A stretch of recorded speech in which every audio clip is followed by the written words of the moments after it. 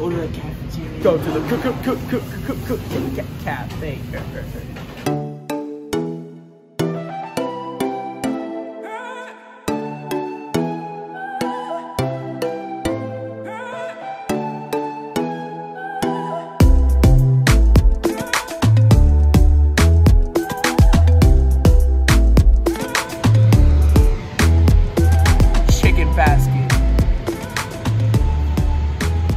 honey mustard.